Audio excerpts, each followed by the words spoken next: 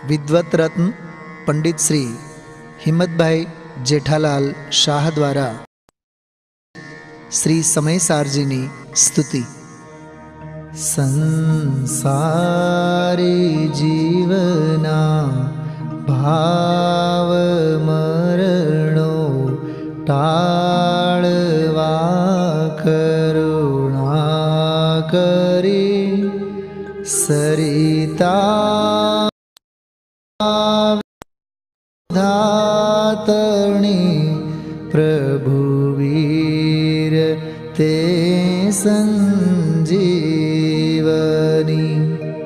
शोषातिदे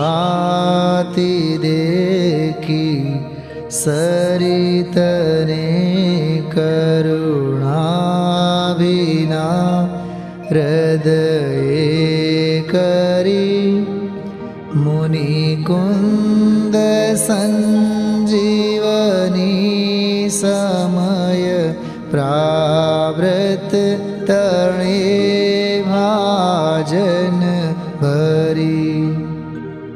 कुन्द कुन्द रचु शास्त्र। साथिया अमृते पुर्या। ग्रन्थाधिराज तारा।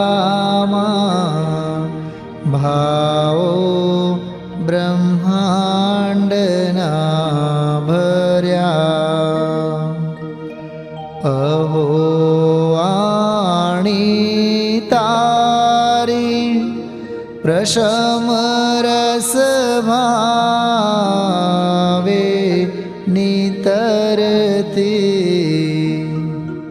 मुमुक्षो ने पाति अमृतरस अञ्जलि। भरि भरि। अनादि विशतणि त्वराथि उतरति। विभावेथि थम्भे स्वरूपबळि दौडे।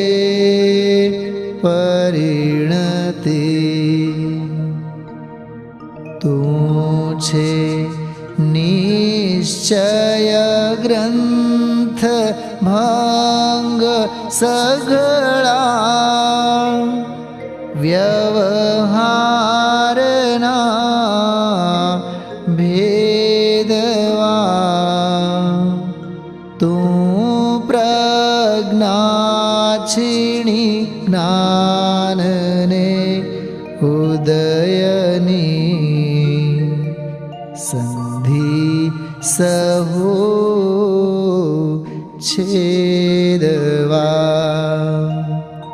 साथी साधकनो तु भानु जगनो। सन्देश वीरनो। विसामो भवक्ला।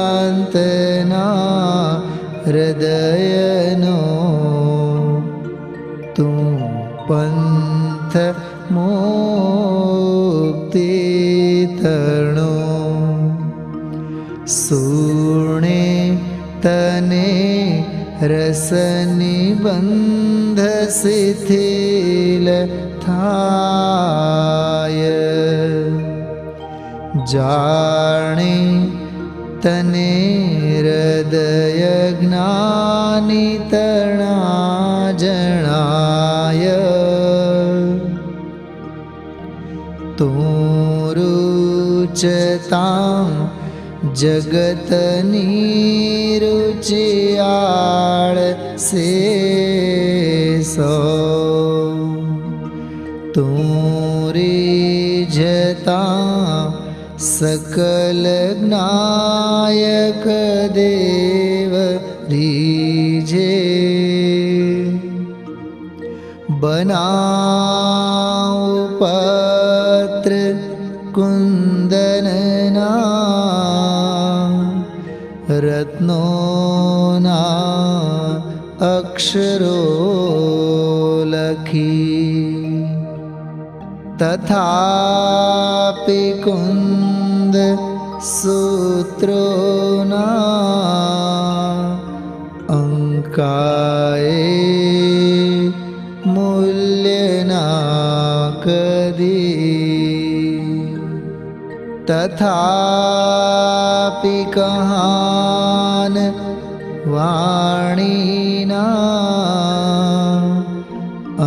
का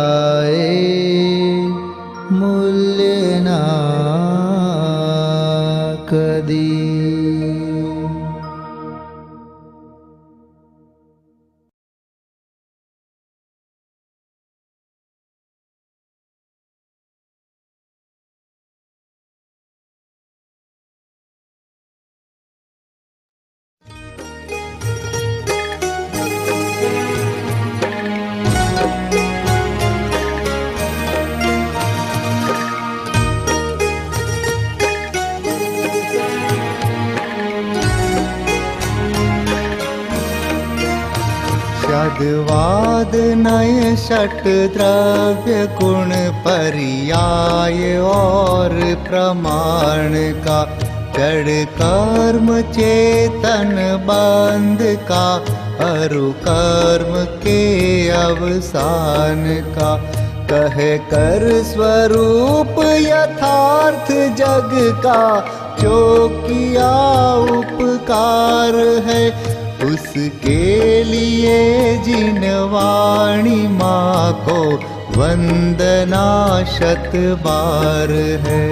उसके लिए जिन वाणी माँ को वंदना शतवार है। वंदना शतवार है। वंदना शतवार है।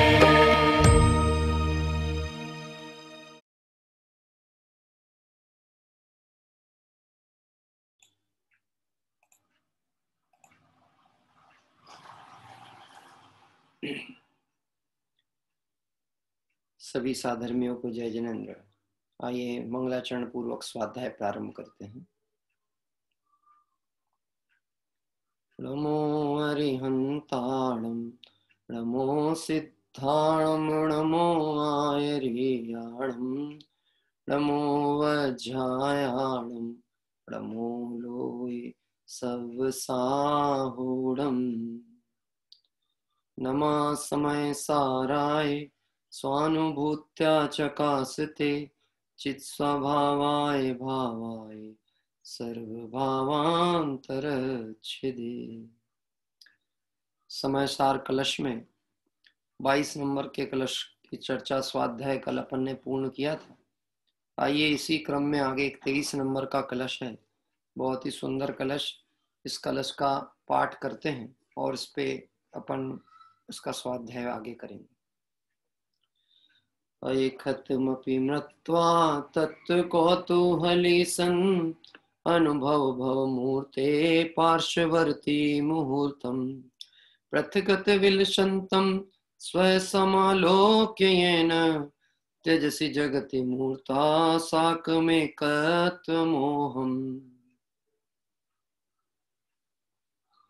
अमृतचंद आचार्य की महान कति समय सार कलश। इसमें जो अभी हमने 22 नंबर का कलश पूर्ण किया था।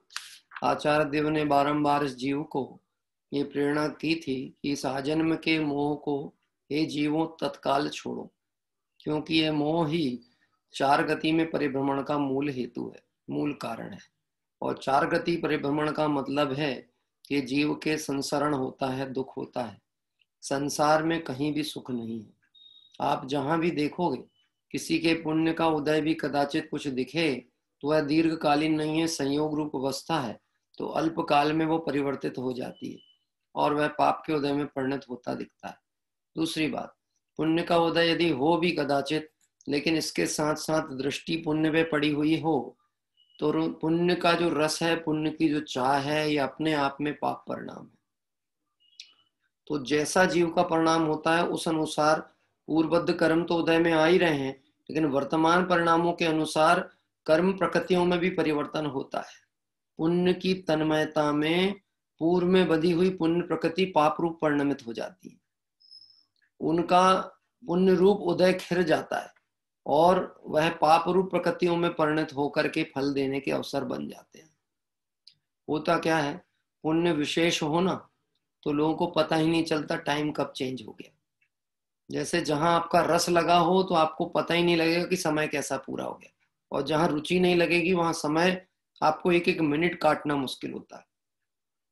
बात ख्याल में आ देखो, अगर हमें स्वाध्याय में विषय समझ में आने लगे और रुचि लग जाए, उपयोग लगे तो एक घंटा कैसे व्यतीत होता है, ये पता नहीं लगेगा।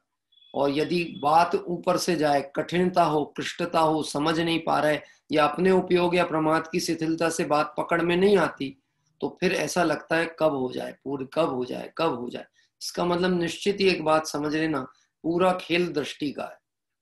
आज संसार परिभ्रमण जीव का चल रहा है अनादिकाल से, वह दृष्टि की विपरीतता से। और जितने भी जीव सुखी हुए हैं, जिन्होंने निर्ग्रंथ दीक्षा अंगीकार करके मुक्ति पद को प्राप्त हुआ, वह दृष्टि परिवर्तन से हुए हैं, व्यवस्थाएँ परिवर्तन से नहीं हुए। हमारा बहुतायत समय और उपयोग जो हम खर्च करते हैं, वो व्यवस्था परिवर्तन में करते हैं, दृष्टि परिवर्तन में नहीं करते। धर्म के नाम पर भी अभी ऐसा मिथ्यात्मोदय चलता है कि हम बाह्य व्यवस्थाओं में परिवर्तन बहुत करना चाहते हैं। और कदाचित थोड़ी और आगे बढ़ के बात कहूँ तो हम सोचते हैं, परिणाम पुण्य रूप हो, शुभ रूप हो मंद कषाय रूप हो देवसात गुरु की भक्ति रूप हो तो यही धर्म है। यहाँ पर आचार्य देव उस छुपे रहस्य को, उस अकाट सत्य को स्पष्ट करना चाह रहे हैं जिसपे दृष्टि जीव की जाती नहीं। तो देखिए, जो तेईस नंबर का कलश हमने पढ़ा है, इस कलश को उसी कलश से जोड़ा जाएगा जो बाईस नंबर का कलश था, कि किस जीव के संसार समुद्र का किनारा निकट आता है, कि जिसके एकत्व बुद्धि परद्रव्य प्रभाव के प्रति छूटती है, जो भेद ज्ञान करता है, जिसको ये बात समझ में आए कि सुवर्ण धातु पाषाण में ही चली आ रही है, मिली हुई चली आ रही है। तथापि अग्नि का संयोग पा करके पाषाण और सुवर्ण जुदा हो जाते हैं। मैं प्रश्न करता हूँ, जुदा कैसे हो जाते हैं? जुदा थे इसलिए जुदा होते हैं कि मिले थे और अग्नि के संयोग पड़ा तो जुदा हुए। ध्यान देना, जुदा थे, मिले हुए होने पर भी जुदा थे। आपको पता है ये जहाँ पे पत्थरों से चीप बनाई जाती है। चीप चीप मतलब आप समझ सकते हो पतले पतले पत्थर हैं, है ना? कुछ और भी बोलते हो आपके यहाँ पता नहीं। जैसे राजस्थान में मार्बल तैयार होता है तो मार्बल की स्लाइड रहती है कि पाँच इंच की, दो इंच की, तीन इंच की, जो भी हो, उस पत्थर की जो मोटाई होती है, ये सब बड़े बड़े पाषाणों में से निकाली जाती है। तो इसका सही सटीक उदाहरण तो आप ये समझ सकते हैं कि जो चीप होती है, काले पत्थर की है, कोटा स्टोन है, ऐसी जो चीप पत्थर होते हैं, ये बड़े बड़ी शिलाओं से निकाले जाते हैं।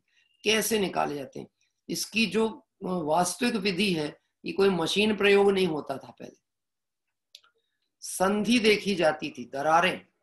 पाषाण में संधि होती है और उस संधि पर चोट मारी जाती थी। धीरे धीरे छैनी के द्वारा और पत्थर के द्वारा छैनी और हथौड़े से चोट मारी गई। धीरे धीरे चोट मारी तो चोट के कारण जो संधि थी, जो दिखती तो जुड़ी हुई थी, परंतु वो जुड़ी नहीं थी, उस पर चोट पड़ती है तो वो धीरे धीरे अलग हो जाती है। पर चोट कैसे मारी जाती है? धीरे धीरे जिसके लिए शब्द किया था, बारंबार अभ्यास करना। ये बारंबार अभ्यास का मतलब है धीरे धीरे चोट डालना। क्योंकि ज़ोर से चोट मारे, कि एकदम से बिना सोचे और मुनिपना अंगीकार कर लिया। अभ्यास किया नहीं उस मार्ग को समझा नहीं और कर लिया वो भ्रष्ट हो गए। तो तो पद से भी गए, धर्म से भी गए और उस पद की अवमानना के कारण से महामिथ्यात्व दोष और पाप का बंद करके अधोगति चला जाए। इसलिए ज़ोर से चोट मारने की बात नहीं करे। कीजे शक्ति प्रमाण, शक्ति बिना श्रद्धा धरे। तो भेद ज्ञान कला का परिचय अमृत चंद स्वामी कराने के बाद तेईस नंबर के कलश में एक बहुत सुंदर प्रेरणा देते हैं। शब्द प्रारंभ होता है आई कथमपि मृत्वा। आई शब्द कोमल अवयव सूचक है। क्या कहा? आई आई यानी कोमल अवयव। जैसे हम इसको अपनी आंचलिक भाषा में यदि कहें तो हम कहेंगे, अरे भाई, भैया, ऐसा बोलेंगे ना? हैं? माँ भी कभी कभी अपने बेटे को कहती है, प्यारे बेटे, भैया, समझा करो, देखो गुस्सा नहीं होते, तुम्हारे हित के लिए कह रहे हैं। अब मैं कह रहा हूँ, वहाँ पे जो शब्द, आई शब्द प्रयोग किया ये करुणा का द्योतक है, कोमल सूचक है, क्योंकि ये जीव का हृदय अनादि काल से मिथ्यात्व अज्ञानता को पोषित करते करते इतना कठोर हो गया कि ये अपने प्रति ही कषाय परिणाम लेके बैठा हुआ है। तो अमृत चंद स्वामी जो निरंतर भावलिंगी संत हैं, निरंतर आत्म आनंद की मस्ती में डूबते हैं, उनके वचन कैसे निकलेंगे? भाषा समिति है ना?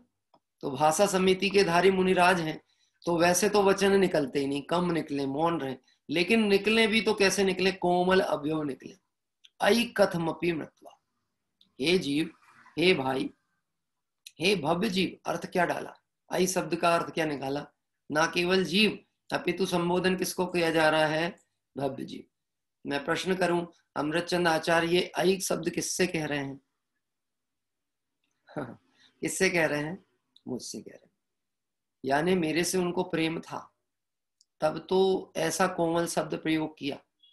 हाँ देखो टीचर ऐसा होता है, कोई टीचरों का नेचर ऐसा होता है, गुस्सेल प्रकृति के होते हैं। गलती हो जाए तो चिल्ला दें, डांट दें, मार दें और अधिक होगा तो भगा देंगे। चलो भगो तो तुमको, हमको पढ़ाना ही नहीं। एक ये होगा। एक टीचर ऐसे होते हैं, जो विद्यार्थी की गलती को देखते तो हैं, अन्वेषण करते हैं, और उसके बाद उसको किसी विधि से जिस विधि से उसका उपयोग यहाँ टिक सके, उस विधि का प्रयोग करके प्रेम पूर्वक बात करते हैं। हाँ? देखो, ये तो कहलाता है पॉजिटिव थिंकिंग वाला तरीका। क्योंकि जिसे संबोधित किया जा रहा है, जिसे भव्य जीव कहा जा रहा है, जीवत्व पने की शक्ति और स्वभाव तो जीव में ही पड़ा हुआ है ना? तो आचार्य देव जानते हैं कि ये जीव पुरुषार्थ करेगा तो ये दुखों से मुक्त होकर के सुख दशा को प्राप्त कर सकता है। इसीलिए संबोधन किसको किया गया? जीव को। कौन से जीव को? तो कहा तो सब जीव के लिए, लेकिन लागू किस पे होने वाला है? भव्य जीवों के ऊपर। तो लागू हम पे होगा।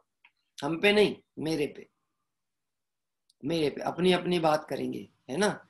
हम सब हम सब वाली बात करेंगे तो वो सामूहिक विकल्प जाल फंसा रहता है, विकल्प संसार जाल फंसा रहता है। सबको साथ लेके चलने के विकल्प वाले कभी मंजिल पे नहीं पहुँच पाते। रविंद्रनाथ टैगोर का एक कोई गीत चलता है बांग्ला में कि तेरा कोई साथ ना दे तो तुम एकला चालो रे। सुना आपने? मुझे याद नहीं उसके शब्द, पर ऐसे ही कुछ है। तमें एकला चालो एकला चालो एकला चालो रे। हाँ? ऐसा पहले भी गीत सुना था कहीं मैंने। अरे, आप समझ ना पहले नैतिकताएँ का, नैतिकता और लौकिक शिक्षाएँ मिलती थी, बाहर भी मिलती थी। हाँ? कोई एक बहुत पुरानी पिक्चर में मैंने गीत सुना था। तेरा कोई साथ ना दे तो तू जग से प्रीत तोड़ ले। बिछौना धरती को बना के, अरे आकाश ओढ़ ले। क्या कहते हैं? तेरा कोई साथ ना दे। तो कोई साथ ना दे, क्यों साथ ना दे? कि तेरा कोई साथी है ही नहीं। जब है नहीं तो साथ कैसे देगा अरे दूसरे पे क्यों घटाना इस चीज़ को देह पे लगाओ, जिससे एकत्व बुद्धि विद्यमान है। जो मूल मिथ्यात्व का कारण बन रहा है, अग्रहित मिथ्यात्व का हेतु है शरीर, ये शरीर साथ देगा कि नहीं देगा? हाँ?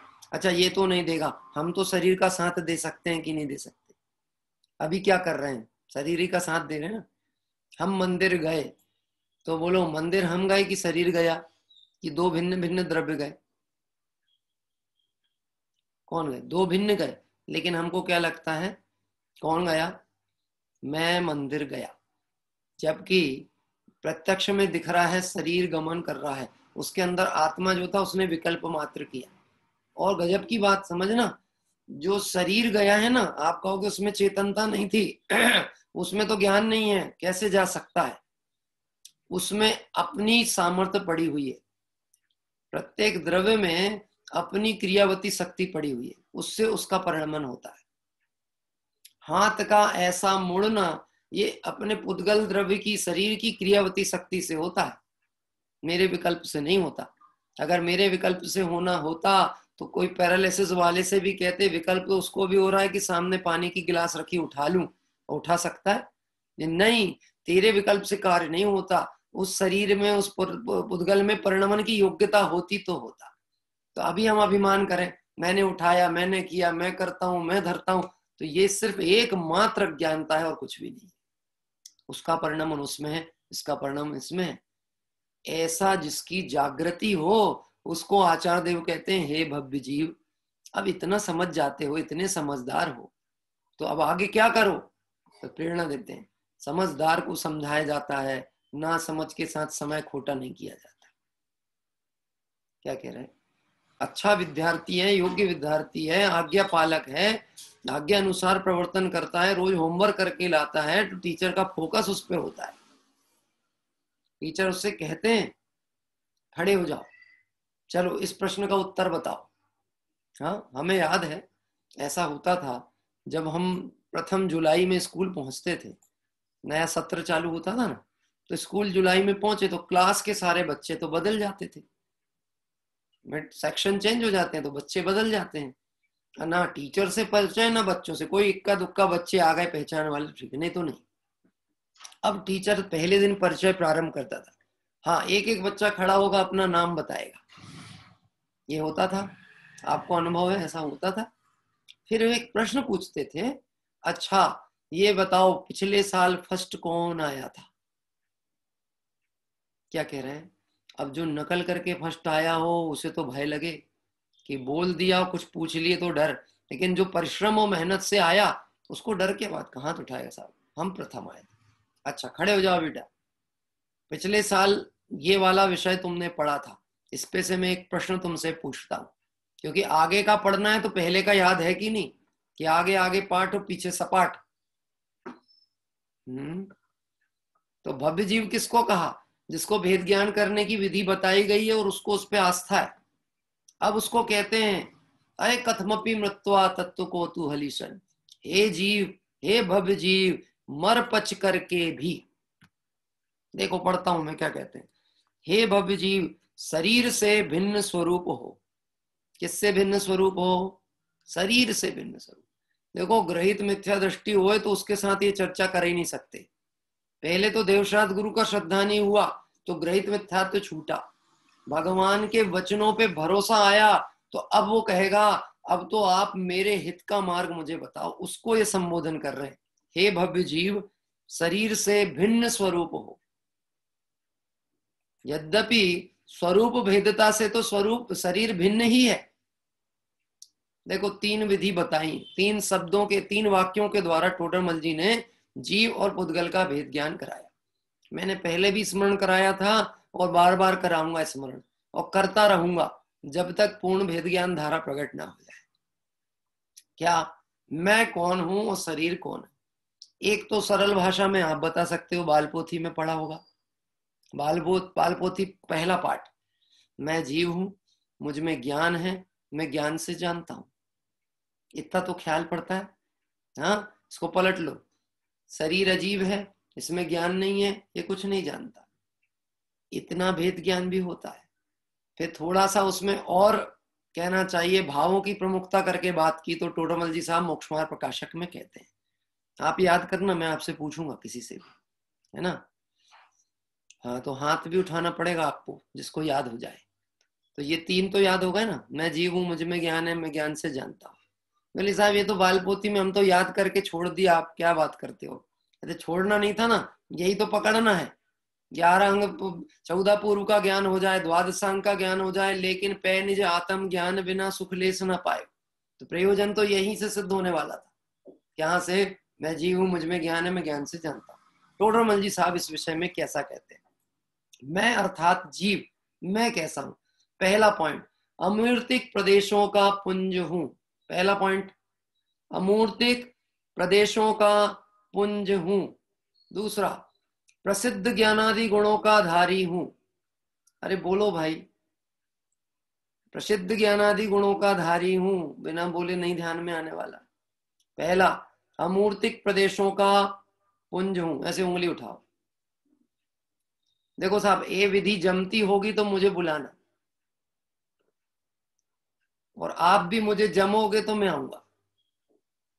ताली तो दोनों हाथ से बजेगी ना, एक हाथ से कैसे बच सकती है? तो ए विधि जमे कि ऐसे अभ्यास करना है और अच्छे से करना है तो वाली, जिसको आए शर्म, उसके फूटे कर्म। किस चीज़ में शर्म आती विषय भोग भोगने में शर्म नहीं आती है। यहाँ तो अपने अभ्यास की दृष्टि से पहला, अमूर्तिक प्रदेशों का पुंज हूँ। दूसरा, रखो दूसरा, प्रसिद्ध ज्ञानादि गुणों का धारी हूँ। प्रसिद्ध ज्ञानादि गुणों का धारी हूँ। और तीसरा, अनादि निधन वस्तु स्वयं आप है। अनादि निधन वस्तु स्वयं आप है। ये तो हो गए मेरे लक्षण मतलब जीव के लक्षण।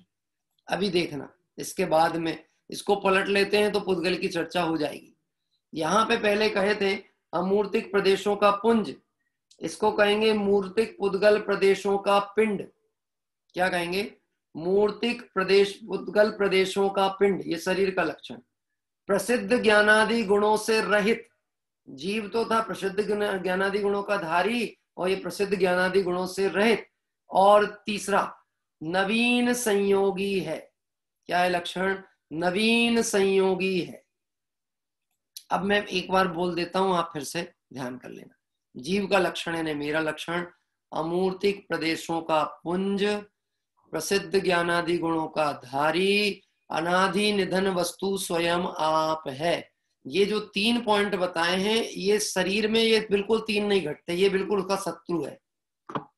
यानी ऐसी समझ लेना कि एक बार किसी हिंदू ने बोला कि क्या कहते, नहीं, एक मुस्लिम ने बोला कि मेरे घर की दीवार के बाजू में हिंदू रहता है।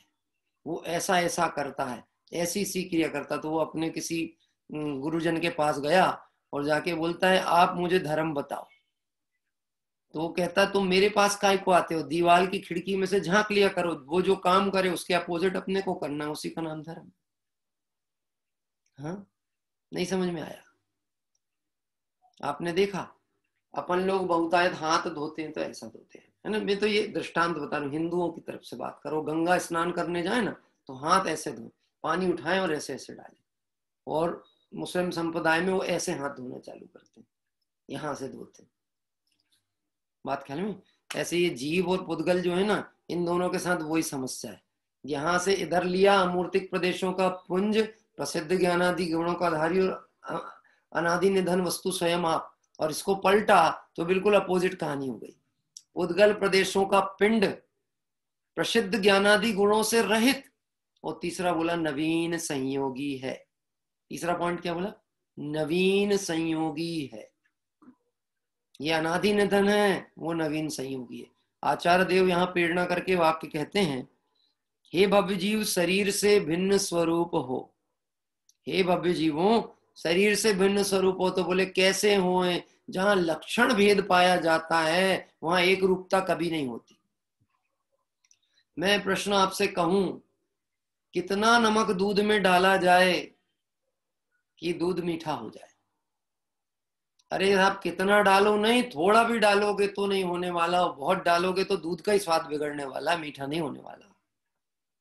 हाँ अच्छा विधान कर ले तो नमक डाल के दूध में। विधान कर ले तो क्या तकलीफ़ है? विधान कर ले। तो तो परिवर्तन हो जाए ना, प्रकृति की नहीं बदले। कि किसी विधि से नहीं बदलेगा क्योंकि स्वरूप कभी बदलता नहीं है। स्वरूप अपरिवर्तनशील होता है। अच्छी बात है कि नहीं? मैं चैतन्य स्वरूपी हूँ। ये मेरा ज्ञानानंद स्वरूप मेरा है। ये अच्छी बात है कि नहीं कि अपरिवर्तित नहीं होता? यदि ये परिवर्तित हो जाता तो नरक नुगोदों की दुख वेदनाओं में जाकर के दुख रूप हो जाता। फिर कभी सुखी नहीं हो सकता था। लेकिन स्वरूप अपरिवर्तनशील होता है। अच्छी बात है। अगर ये बात समझ में आ जाएगी तो वर्तमान पर्याय के दुख भी दुख रूप भाषित नहीं होंगे, क्योंकि ये मेरे स्वरूप में नहीं है। सब बाहर है। कर्म का उदय है। आत्मा में इससे कोई लेना देना नहीं। ऐसा विचार करने पर आचार्य देव कहते हैं, हे जीवों, हे भव्य जीव, शरीर से भिन्न स्वरूप हो। भावार्थ इस प्रकार है कि अनादिकाल से जीव द्रव्य ब्रैकेट में लिखते हैं, शरीर के साथ। एक संस्कार रूप होकर चला आ रहा है। कब से? अनादिकाल से। कब से? अनादिकाल से। है ना? चला आ रहा है। चला आ रहा शब्द किस बात को बता रहे हैं? अब भी चला ही रहा है। चल रहा कि नहीं चल रहा? हाँ? अब मैं आपसे प्रश्न पूछता हूँ। आपकी उम्र कितनी है?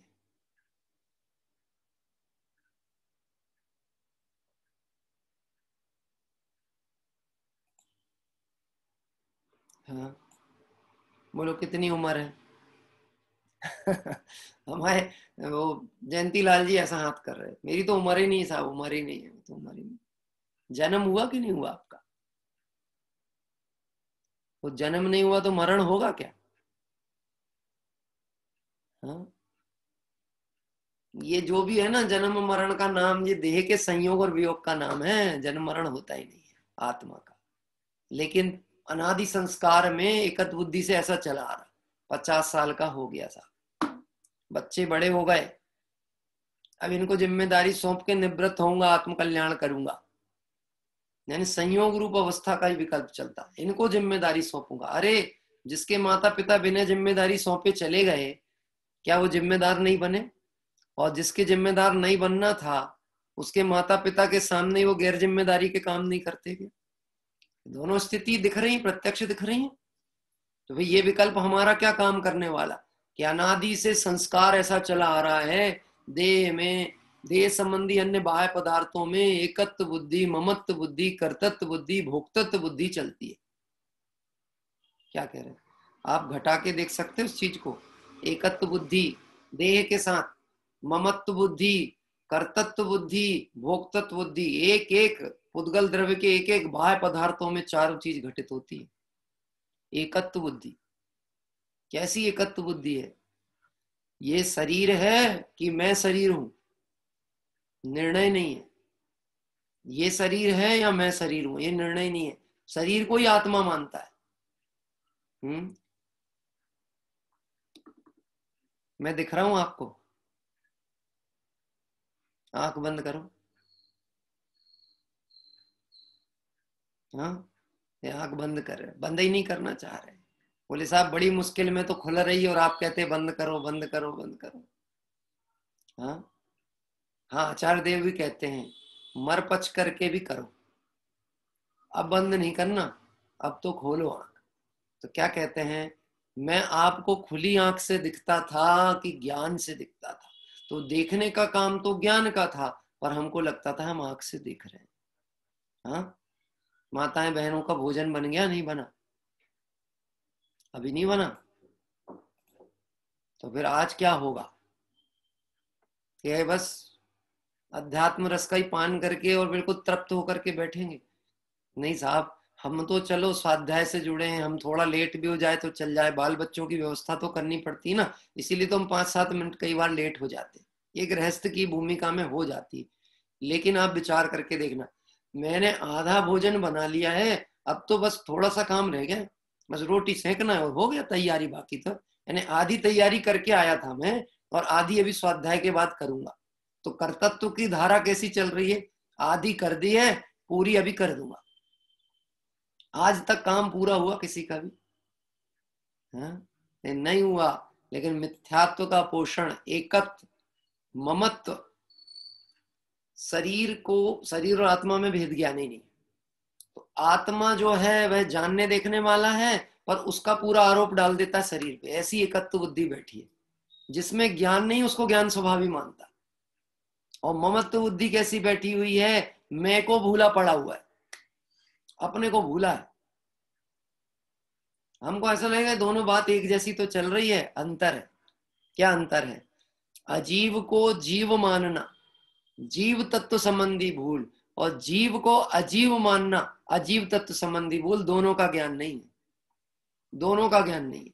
ना जीव का ज्ञान है, ना अजीव का ज्ञान है। आप पढ़ो मोक्षमार प्रकाशक में सात तत्व संबंधी भूल का प्रकरण है और पाठशाला में भाग में प्रश्नोत्तर में ही डाला।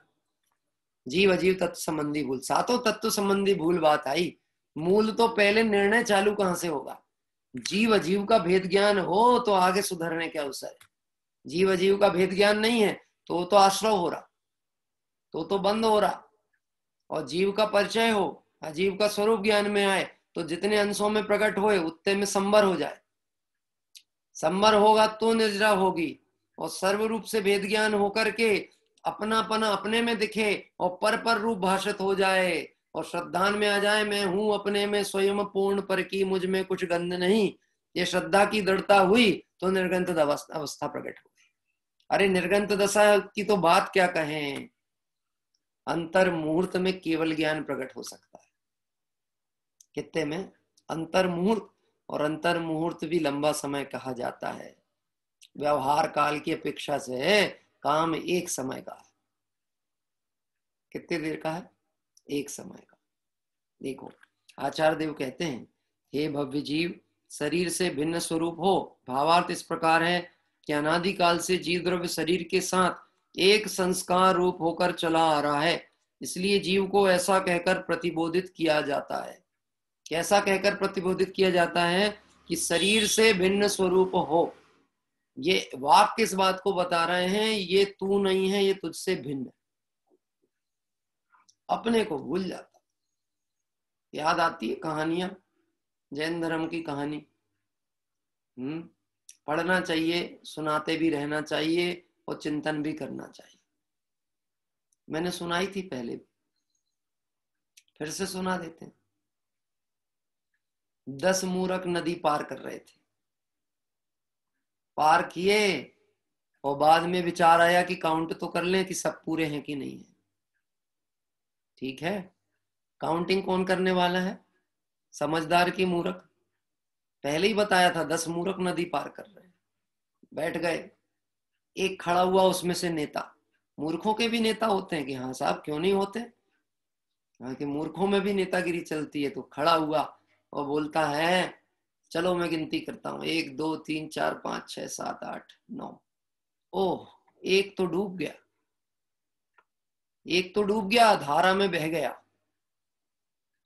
नहीं बोले, तुझे गिनती नहीं आती, तू बैठ जा, मैं गिनता हूँ। उसको बैठाला दूसरे ने गिनती चालू की। फिर वही समस्या। एक से नौ, एक फिर डूब जाए। गजब की बात है, जब ये गिन रहा था, तब भी एक डूबा था। जब दूसरा गिन रहा है, तब भी डूबा है। तो डूबा कौन है? हाँ ये बड़ी आकुलता व्याकुलता, चली इतने में कोई आ गया। थोड़ा समझदार कि बोले, साहब, क्या दिक्कत हो गई? कुछ हेल्प चाहिए क्या? मैं आई हेल्प यू हाँ तो बोले, ठीक है, बता दो। कभी कभी ऐसी कषाय कम हो जाए तो ज्ञानी संयोग बन जाता है मूर्खों को। अच्छा ठीक है, बताओ। तो समस्या ये है कि हम नदी पार कर रहे थे। पार करने के पहले दस थे, पार होते से ये कम हो गया।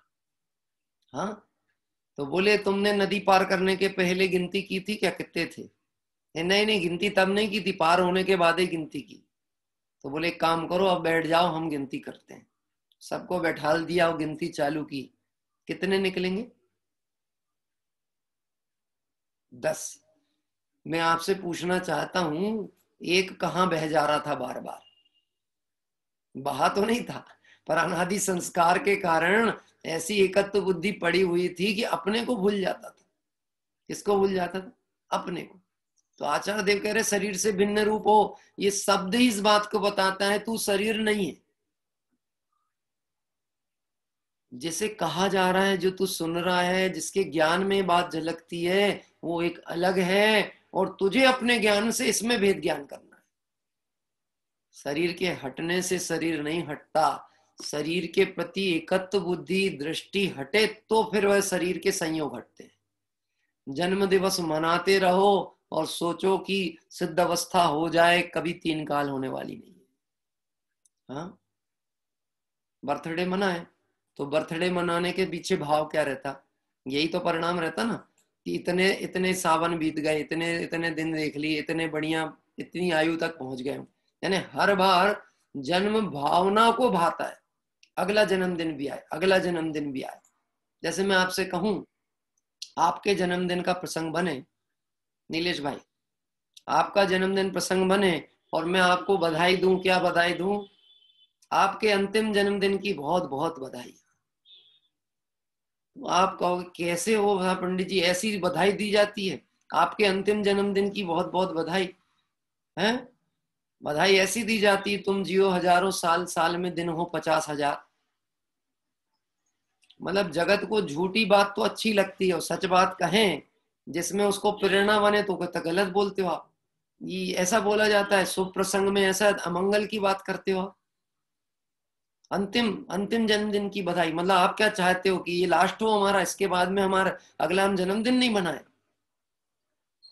और बोलूँ अंतिम दस लक्षण की बहुत बहुत शुभकामनाएँ।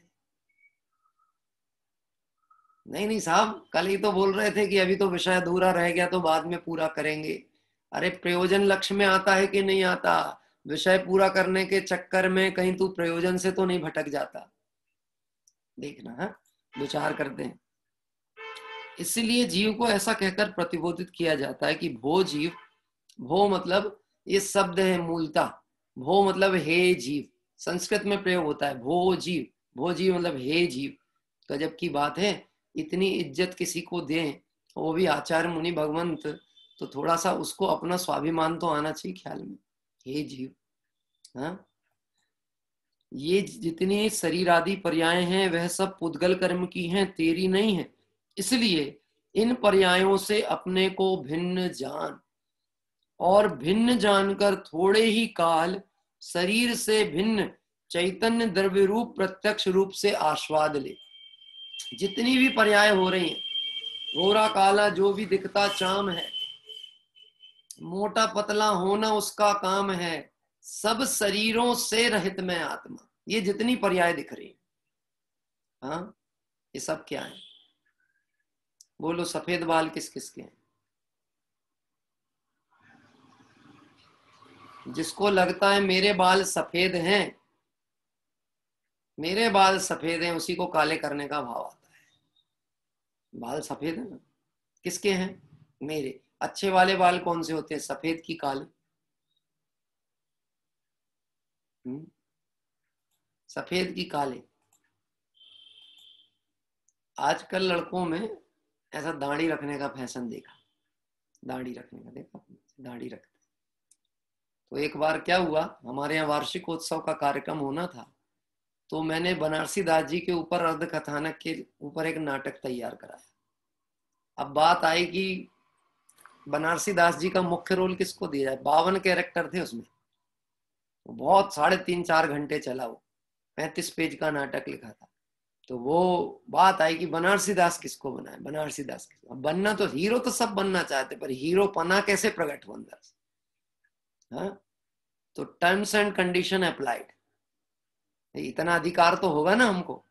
और इतना अधिकार नहीं हो तो हमको तो कुछ करने का विकल्प ही नहीं। सर्वाधिकार सुरक्षित। देखा, लिखा रहता है। सर्वाधिकार सुरक्षित। मेरे अधिकार मेरे पास सुरक्षित है। मैंने कहा बनारसी दास जिसको भी बनना है, उसको ये सफ़ाई करा के आना पड़ेगी। नहीं नहीं नहीं नहीं, वो तो नहीं हो सकता। क्यों नहीं हो सकता, ये बताओ। कि बोले, इससे मैच्योरिटी झलकती है। लोग लगता है परिपक्व हो गए। मैंने कहा, तुम अपने विवाह के पहले ही परिपक्व हो गए, इसलिए तो कोई संबंध नहीं लेके आ रहा तुम्हारे पास।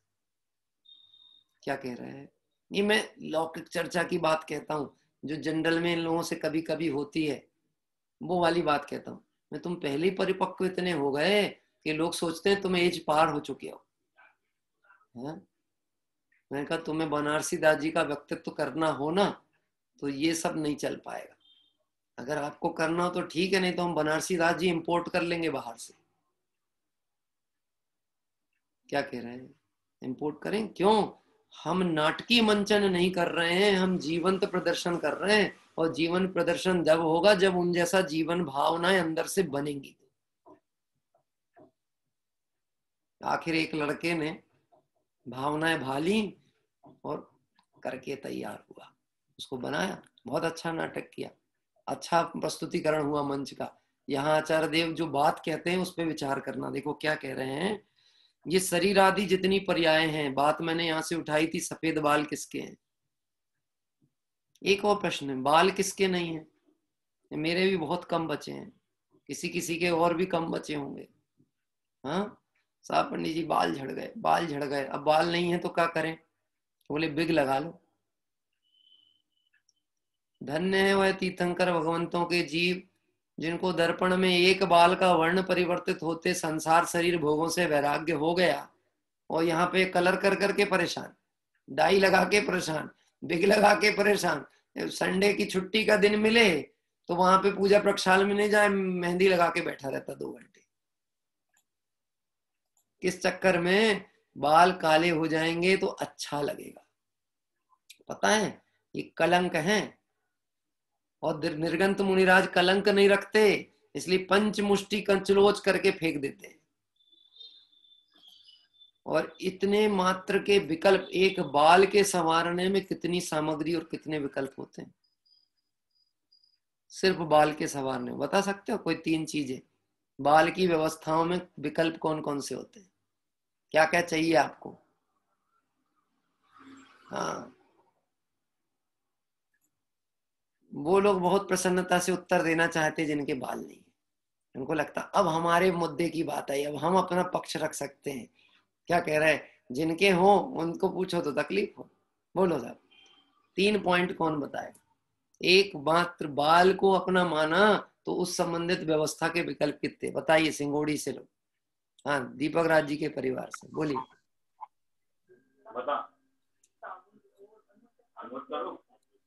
अरे हाँ एक एक अपने अपने बताओ। हाँ। साबुन तेल और कंगी। अच्छा। हाँ शैम्पू भी हो गया। साबुन तेल कंगी। अभी सामग्री की लिस्ट है आप देखते जाना बनते चली जाएगी। हाँ? कि बोले, साहब, साबुन से तो बाल कड़क हो जाते हैं, शैम्पू की ज़रूरत है। फिर उस शैम्पू में भी मैंने देखा, कैलेंडर ऐसे टंगे रहते हैं दुकानों में अलग अलग वैरायटी के शैम्पू। ड्राई बाल वाले और सिल्की बाल वाले, पता नहीं कितने। ये अपने उपयोग में नहीं तो अपने को पता नहीं, लेकिन नज़र तो पड़ती ना, ज्ञान का गे तो बनते हाँ? फिर आजकल मैंने एक देखा, जेल भी आता है, जेल। तो बच्चे जेल लगाते हैं, बाल खड़े करेंगे, आड़े करेंगे, तिरछे करेंगे। फिर उस बालों में भी पचासों तरह की वैरायटी तैयार कराई जाती है।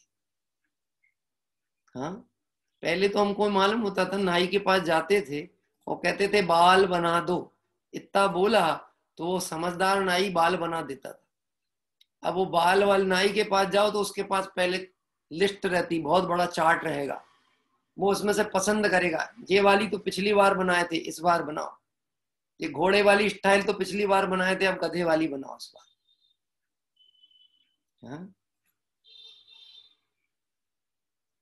उसको अपनी मनुष्य पर्याय कीमत नहीं भाषित होता ना, इसीलिए ऐसा एक एक पर्याय दृष्टि करके उधर समय खोता है।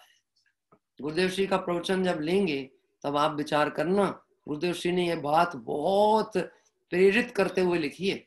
अभी तो मैं आपको उस विषय पे संकेत करने के लिए बात कहता हूँ। आप गंभीरता से उस विषय पे विचार करना, अनंत काल कैसे बीत गया पर्याय दृष्टि में? देखना। यहाँ लिखा है, इसलिए इन पर्यायों से अपने को भिन्न जान, भिन्न जानकर थोड़े ही काल में शरीर से भिन्न चैतन्य द्रव्य रूप प्रत्यक्ष रूप से आस्वाद ले। कितने काल? थोड़े काल। थोड़ा काल मतलब क्या? अनंत काल की अपेक्षा यदि आत्मानुभूति करके आत्म कल्याण की भावना हो तो उसके लिए कहा गया छह महीना कम से कम। कम से कम कितना? छह महीना। लॉकडाउन को कितना टाइम बीत गया? चार पाँच महीने होने को ना पाँच महीने। एक महीना और चला गया। तो छह महीना हो गए कि नहीं हो गए लेकिन छह महीने की काउंटिंग कहाँ से चालू करना? जब भेद ज्ञान की अभ्यास प्रारंभ करे तो छह महीने की काउंटिंग चालू हो। नहीं तो पाँच महीने तो चले गए। हाँ? और ऐसा अवसर फिर बाद में पता नहीं मिले कि नहीं मिले कि प्रकृति ने भी आपको घर में बैठने के लिए कहा। सहजता में बैठने का अवसर मिला। नहीं तो इतनी व्यस्त जीवन में आदमी को फुर्सत कहाँ है बैठने की? क्या कह रहे हैं? मैं आपसे पूछता हूँ दस लक्षण के बाद में भी अगर ये अपन तीन टाइम क्लास चलाते रहें, सुबह पूजा करें और शाम को भक्ति करें, पाँच टाइम है, हाथ उठाओ कौन कौन लोग तैयार है? हाँ? नहीं साहब, जिनवाणी के सामने हम झूठ नहीं बोलेंगे। अभी दस धर्म थी तो अलग बात है। इतना समय तो नहीं हो पाता। ठीक है, देखेंगे, एक आध टाइम बन गया। तो ऐसा आपको भी बुरा ना लगे अच्छा लगे कि हमने आपकी बात रख ली। तो हमारी बात रखने के लिए धर्म नहीं करना। अपना हित समझते हो, जो हित चाहो, भविजन प्राणी, पढ़ो, सुनो, ध्याओ, जिनवाणी। अपना हित चाहते हो, इसमें अपना हित भाषित होता हो तो करने की बात। क्या कह रहा है? घबराना नहीं। जो जो देखी भी तिराग ने सो सो होसी भी दारे ये तीन टाइम होगी कि दो टाइम होगी कि एक टाइम होगी? क्या कह रहा है? ये तो अपनी रुचि पे डिपेंड करता है और अपनी भवितव्यता और अपने भाग्य पे डिपेंड करता है कि हम धर्म क्रियाओं से कितना समय जुड़ पाएँगे। देखना, प्रत्यक्ष रूप से आस्वाद ले। भावार्थ इस प्रकार है कि शरीर तो अचेतन है, विनश्वर है। शरीर से भिन्न कोई तो पुरुष है। ऐसा जानपन ऐसा जानपना, ऐसी प्रतीति मिथ्या दृष्टि जीव के भी होती है। मिथ्या दृष्टि के भी जानता तो है कि शरीर से भिन्न कोई वस्तु है। देखो कैसे जानता है। जब किसी का मरण हो जाता है ना तो रोने बैठ जाते। चले गए चले गए, हमको छोड़ के चले गए। कहाँ चले गए? तुमको जिससे प्रेम था वो तो पड़ा है ना शरीर। रख लो उसको संभाल के। फिर रोते क्यों? चले गए चले गए। क्या कह रहे हैं? ये चले गए बोलने से ही वो ये बात बता रहा है, वो जानता है, इसमें कोई एक और था जो चला गया। और मेरा प्रयोजन उससे सिद्ध होने वाला था, इससे नहीं होने वाला था, जो चला गया। क्या कह रहे हैं? मिथ्या दृष्टि भी जानता है, लेकिन ये भेद ज्ञान अपने पे लागू नहीं करता। वो चले गए, वो चले गए। अरे मैं भी तो चला जाऊँगा कि नहीं चला जाऊँगा? हाँ? दूसरे के लिए रोने तैयार है, पर अपना रुदन और अपना कष्ट नहीं दिखता। और दूसरे के लिए भी रोना कितनी देर का? हाँ? वो लाइन याद नहीं आ रही है, अपने बारह भावना की पंक्ति में आई है। पैड जाए मरघट तक परिवारा, अपने अपने सुत को रोवे पिता पुत्र धारा। हाँ? कमला चलत न पेड़ जाए। क्या लाइन आई? कमला चलत न पेड़ जाए, मरघट तक परिवारा। अपने अपने सुख को रोवे पिता पुत्र दारा। ऐसा भी देखा होगा आपने, दुख की विहलता जब किसी की बहुत हो जाए तो वो अर्थी उठाने नहीं देते, ले जाने नहीं देते। नहीं, हम जाने नहीं देंगे। हमारे पिताजी को नहीं ले जाओ, हमारे इष्ट को नहीं ले जाने देंगे। रोते हैं, घसीटते हैं, जाने नहीं देंगे। अरे, इतने दुखी होते हैं, बेहोश तक हो जाते मूर्छित हो जाते हैं। देखा आपने? रागी की दिशा ऐसी ही होती है। ज्ञानियों में भी राग की ऐसी झलक देखने को मिलती है। जितना सत्ता में राग है, वैसी झलक उनमें भी देखने को मिलती है। रामचंद जी लक्ष्मण के पार्थिव शरीर को लेके छह महीने तक फिरते रहे। कौन थे? छायक सम्यक दृष्टि, तदभव मोक्षगामी। बोलो, बहिरात्मा थे कि अंतरात्मा थे? बोले साहब बड़ी समस्या है हम करें तो पाप और तुम करो तो सब जायज़ है, है? यही तो अंतर दृष्टि का। हमको जो दिख रहा है वो है नहीं और जो दिखता है नहीं है वो ही सत्य है। हाँ? बोलो हाथ हिलता हुआ दिखता है? दिखता है। कौन हिला रहा है? कौन हिला रहा? हम्म? कौन हिला रहा इस आत्मा के अंदर एक चैतन्य तत्व विद्यमान है, उसमें यह विकल्प हुआ था कि हाथ हिले तो वो अपना विकल्प उसका हुआ और शरीर की स्वायोग्यता से हुआ। आप फट से उत्तर दे सकते थे, आप हिला रहे हो। मतलब समझ लेना, दृष्टि अभी गड़बड़ पड़ी हुई है। मैं नहीं हिला रहा। मैं नहीं हिला रहा, क्योंकि जिसको देख के आप हिलना कह रहे हो, वो मैं हुई नहीं। अब बोलो, दुकान कौन चलाता है? अच्छा बच्चों को बड़ा किसने किया? बच्चों को बड़ा किसने किया? मुझे बात समझ नहीं आती, हमने बच्चों को बड़ा किया। कैसे बड़ा किया? पति पत्नी ने मिलके बच्चों को बड़ा कैसे किया? है? कि एक ने पैर पकड़े और एक ने हाथ पकड़े और दोनों तरफ़ से खींचे तो बच्चे बड़े हो गए। ऐसा कुछ है क्या पद्धति? कैसे बड़ा किया? क्या किया अपने बड़ा करने में? वो स्वायोग्यता से हुए ना, काल परिणमन के हिसाब से हुए ना, कैसे बड़े हुए? और गजब की बात है टोडमल जी साहब कहते हैं, अनुकूल हो जाए तो कर्ता बन जाता है, और प्रतिकूल हो जाए तो मैं क्या करूँ? ऐसा ही होने वाला था।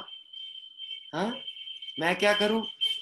बच्चा अगर संस्कार है तो वो योग्य हो, उसके काम से अपने को प्रसिद्धि के अवसर बनते हो तो मेरा बेटा मेरा बेटा मेरा बेटा, और बिगड़ जाए तो क्या कहेंगे?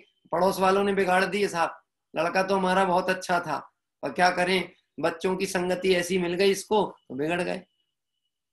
ऐसे विचार करना, आचार्य देव कहते हैं तो इस शरीर आदि से कुछ समय के लिए भिन्न अनुभव कर, चैतन्य द्रव्य रूप भिन्न अनुभव कर, प्रत्यक्ष रूप से आस्वाद ले। भावार्थ इस प्रकार था, शरीर तो अचेतन है, विनश्वर है। शरीर से भिन्न कोई तो पुरुष है, ऐसा जानपना ऐसी प्रतीति मिथ्या दृष्टि जीव के भी होती है। पर साध्य सिद्धि तो कुछ भी नहीं है। वेद ज्ञान ऐसा ज्ञान में तो है कि अलग अलग है, पर मैं कौन हूँ ऐसे प्रयोजन की सिद्धि नहीं होती। देखो, दूसरे का मरण देख करके अपने जीवन का परिचय होना चाहिए। क्या कह रहे हैं? दूसरे का मरण देख के अपना जीवन परिचय आना चाहिए। नहीं तो अभी तो शमशान में भी वैराग्य के क्षण नहीं देखने को मिलते। राग, रंग, हँसी, खुशी, राजनीति हाँ ये सब आपको शमशान में देखने मिलेंगे। जिसको वैराग्य, जिसको मसानिया वैराग्य कहा जाता था, अब तो वो भी देखने नहीं मिलता। मैं तो एक बात कहता हूँ, इतनी तो अपनी थोड़ी मर्यादा हमको याद रखनी चाहिए। किसी के इष्ट के वियोग के प्रसंग में हम खड़े हैं तो कैसे खड़े हुए? क्या करें? उस समय राजनीतिक चर्चा करके झुंड बनाते हुए हँसी मज़ाक ठिटोली करें, वो व्यक्ति जिसका दुख चल रहा है, उसको कैसा वेदन होता होगा? कहो वो हमारी हँसी देख के निदान बंद करके और कहीं हमारा शत्रु ना बन बैठे। तू मेरे दुख पे हंसता था। अगर मुझे अवसर बना तो कहो व्यंतर अंतर बन जाए, फिर झूमे आके आपके ऊपर। नहीं हो सकता ऐसा, कि हो सकता है। हमारे ऊपर नहीं झूमते व्यंतर ना झूम सकते, क्योंकि एक तो हम सच्चे देवसात गुरु के भक्त है। दूसरी बात, उस मर्यादा का पालन करने का अभ्यास करते हैं। हम्म? अरे किसी के कष्ट का प्रसंग है, अपनी भूमिका ये बनती है, योग्यता ये बनती है उसको थोड़ा संभालें, संबोधित करें, उसको धैर्य धारण कराएँ। ऐसा देखा साहब प्रत्यक्ष देखने में मिलती है बात। वहाँ पे खड़े खड़े पूछते हैं क्या पुड़िया रखी क्या? पुड़िया। समझ गए आप? पुड़िया रखी का मतलब क्या होता है? हाँ? रखिए क्या पुड़िया? तो इधर भी जेब में भी रखिए मुँह में भी रखिए और वो सामने वाला आया तो उसको दुख व्यक्त करते, बहुत बुरा हुआ, बहुत बुरा हुआ, बहुत बुरा हुआ। अरे, किसका बुरा हो रहा है? उसके इष्ट वियोग हुआ, उसके मरण को देख के तुझे अपने जीवन की अल्पता समझ में आती कि नहीं? कल तेरी बारी आने वाली है। राजा, राणा, छत्रपति, हाथिन के असबार मरना सबको एक दिन अपनी अपनी बार। तो सही में जिसको दूसरे के मरण में आनंद होता है, उसको मरना ही पड़ेगा। और जो दूसरे के मरण के प्रसंग में देव योग के प्रसंग में भी धैर्य धारण करेगा, उसे जीवन जीने की कला सीखने को मिलेगी। और वो वहाँ यह निर्णय करेगा, संयोग असार हैं, क्षणभंगुर हैं नस्वर हैं, इसमें मेरा कुछ भी नहीं था, मैं तो अपने चैतन्य प्राणों से जीता हूँ। हाँ? एक पंक्ति बोल दें, और बात को विराम लेते हैं। चैतन्य प्राणों से जीवित नित, इंद्रिय बल श्वासोच्छ्वास नहीं। आयु रहित नित, अजर अमर, सच्चेदानंद चित खान हूँ मैं। देखा जब अपने अंतर को, कुछ और नहीं, भगवान हूँ मैं। पर्याय भले ही पामर हो। अंतर से वैभववान हूँ मैं। देखा जब अपने अंतर को। मैंने आज पाँच मिनट पहले बुद्धिपूर्वक इसलिए विराम ले लिया कि भक्ति और स्तुति के लिए बहुत सारे नाम आ गए। और लोगों का ये बोलना था कि पंडित जी टाइम तो कम बचा है और नाम अगर ज़्यादा रहेंगे तो मेरा नंबर कब आएगा? क्या कह रहे हैं? तो मैंने कहा, भाई नंबर अगर आपका लगा है और आप लगे रहे तो आएगा आपका नंबर अब आप ही हट गए तो हम क्या करें? हम तो लगे ही हैं।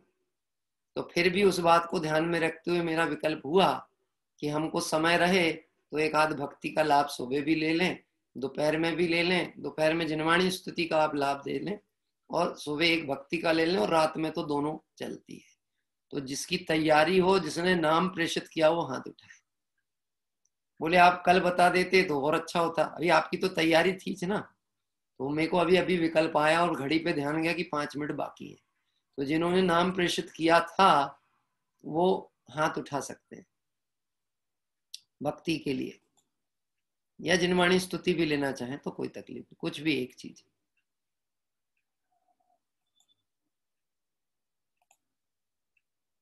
देखो, इससे एक चीज़ और पता चलती है कि भक्ति और स्तुति का शेड्यूल दिमाग में हो कि हमको तो रात में लेना तो हम रात ही में जुड़ेंगे। क्या कह रहे हैं? हमें किसी से किसी को नहीं जोड़ना, हमें अपने से जुड़ना है। क्या कह रहे अपने से जुड़ना। चलिए, कोई बात नहीं। पर कल से पता लग जाएगा तो शायद फिर जिन लोगों के नाम प्रेषित हैं, हम उन्हें भी बुला पाएँगे। हाथ उठाई भी है जल्दी से, नहीं तो ये पाँच मिनट तो संयोग व्यवस्था संचालन में खत्म हो जाएँगे। चलिए, समता बहन लेंगे कानपुर से।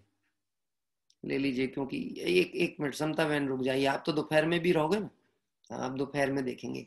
एक छोटे बालक ने हाथ उठाया, उसको अवसर देते हैं। नेमी चंदी जैन के यहाँ से कुछ बालक है। हाँ बेटा अनम्यूट करो माइक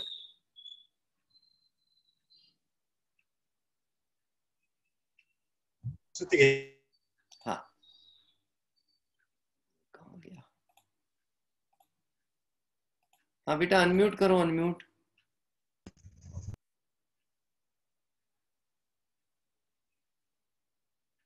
सिर्फ़ अनम्यूट करना है आपको कैमरा बंद नहीं करना आपका।